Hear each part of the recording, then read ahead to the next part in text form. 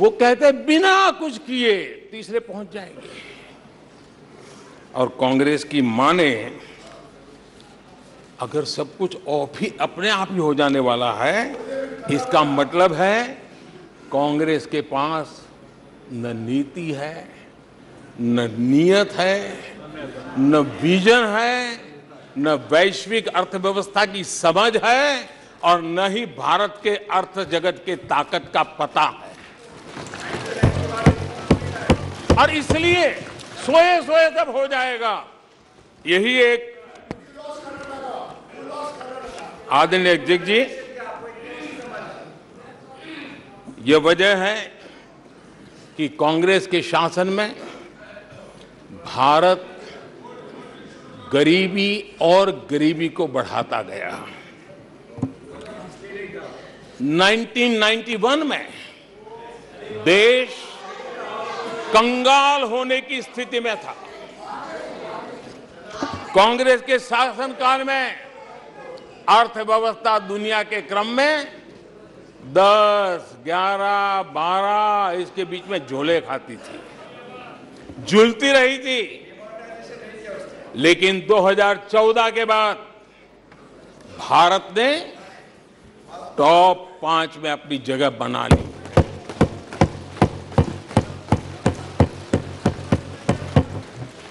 कांग्रेस के लोगों को लगता होगा कि कोई जादू से, लकड़ी से हुआ है।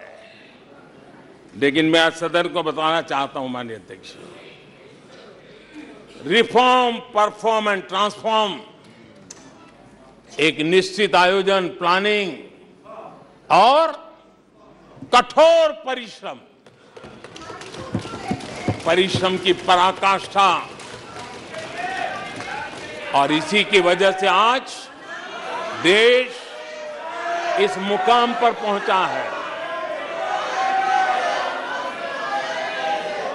और ये प्लानिंग और परिश्रम की निरंतरता बनी रहेगी।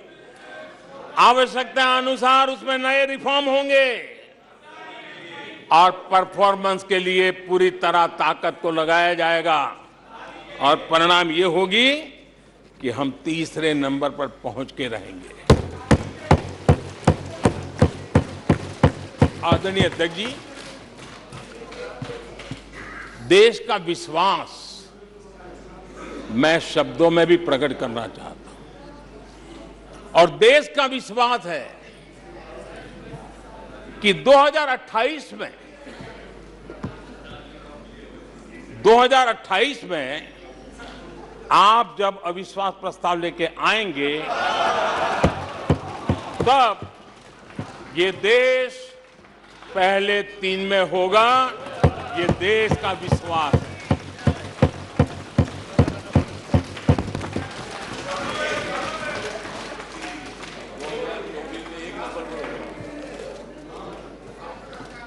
आदरणीय अध्यक्ष जी, हमारे विपक्ष के मित्रों के फितरत में ही अविश्वास भरा पड़ा। है हमने लाल किले से स्वच्छ भारत अभियान का आह्वान किया, लेकिन उन्होंने हमेशा अविश्वास जताया। कैसे हो सकता है? भाई, गांधी जी भी आके गए, करके कह के गए, क्या हुआ? अब स्वच्छता कैसे हो सकती है? अविश्वास से भरी हुई इनकी सोच है। हमने माँ बेटी को खुले में शौच से मुक्त करने के लिए, उस मजबूरी से मुक्त होने के लिए शौचालय जैसी ज़रूरत पे ज़ोर दिया। और तब ये कहना क्या लाल किले से ऐसे विषय बोले जाते हैं क्या? क्या ये देश की प्राथमिकता होती है क्या? हमने जब जनधन खाते खोलने की बात की, तब भी यही बात निराशा की। क्या होता है जनधन खाता, उनके हाथ में पैसे कहाँ है? उनका जेब में क्या पड़ा है? क्या लेके आएँगे? क्या करेंगे? हमने योग की बात की, हमने आयुर्वेद की बात की, हमने उसको बढ़ावा देने की बात की तो उसका भी मखोल उड़ाया गया। हमने स्टार्टअप इंडिया की चर्चा की तो उन्होंने उसके लिए भी निराशा फैलाई। स्टार्टअप तो कुछ हो ही नहीं सकता है। हमने डिजिटल इंडिया की बात कही तो बड़े बड़े विद्वान लोगों ने क्या भाषण किए? हिंदुस्तान के लोग तो अनपढ़ है हिंदुस्तान के मोबाइल चलाना भी नहीं आता है। हिंदुस्तान के लोग कहाँ से डिजिटल करेंगे? आज आज डिजिटल इंडिया देश आगे है। हमने मेक इन इंडिया की बात कही। जहाँ गए वहाँ।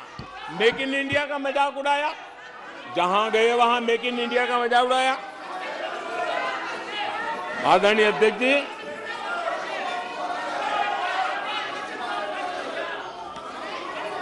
कांग्रेस पार्टी और उनके दोस्तों का इतिहास रहा है कि उन्हें भारत पर भारत के सामर्थ्य पर कभी भी भरोसा नहीं रहा है। भाषण पूरा नहीं हुआ अध्यक्ष जी। नो और ये विश्वास किस पर करते थे? मैं जरा आज सदन को याद दिलाना चाहता हूँ। पाकिस्तान सीमा पर हमले करता था। हमारे यहाँ आए दिन आतंकवादी भेजा जाता था और उसके बाद पाकिस्तान हाथ ऊपर करके मुकर जाता था, भाग जाता था, बोले, हमारी तो कोई जिम्मेवारी नहीं है। कोई जिम्मा लेने को तैयार नहीं होता था। और इनका पाकिस्तान से ऐसा प्रेम था कि वो तुरंत पाकिस्तान की बातों पर विश्वास कर लेते थे। पाकिस्तान कहता था कि आतंकी हमले होते रहेंगे और बातचीत भी होती रहेगी। इन्हें यहाँ तक कहते भाई पाकिस्तान कह रहा है तो सही कहता होगा। ये इनकी सोच रही है। कश्मीर आतंकवाद की आग में दिन रात सुलग रहा था। जलता था लेकिन कांग्रेस सरकार का काम कश्मीर आ, कश्मीर के आम नागरिकों पर विश्वास नहीं था। वे विश्वास करते थे हुरियत पर वे विश्वास करते थे अलगवादियों के पर वे विश्वास उन लोगों पर करते थे जो पाकिस्तान का झंडा लेकर के चलते थे। भारत ने भारत ने आतंकवाद पर सर्जिकल स्ट्राइक किया। भारत ने एयर स्ट्राइक किया। इनको भारत की सेना पर भरोसा नहीं था। उनको दुश्मन के दावों पर भरोसा था। ये इनकी प्रवृत्ति थी। अध्यक्ष महोदय, आज दुनिया में कोई भी भारत के लिए अपशब्द बोलता है तो इन्हें उस पर तुरंत विश्वास हो जाता है। तुरंत उसको कैच कर लेते हैं। ऐसा मैग्नेटिक पावर है कि भारत खिलाफ हर चीज़ें वो तुरंत पकड़ लेते हैं। जैसे कोई विदेशी एजेंसी कहती है कि भूखमरी का सामना कर रहा कोई कई देश, भारत से बेहतर है, ऐसा झूठी बात आएगी तो भी पकड़ लेते और हिंदुस्तान में प्रचार करना शुरू कर देते प्रेस कॉन्फ्रेंस कर देते हैं। भारत को बदनाम करने में क्या मज़ा आता है? दुनिया में कोई भी ऐसी बेतुकी बातों को मिट्टी के ढेले जैसी जिसकी कीमत ना हो, ऐसी बातों को तवज्जो देना, ये कांग्रेस की फितरत रही है और तुरंत उसका भारत में एम्पलीफाई करना, प्रचार करना पूरी कोशिश टीम लग जाती है।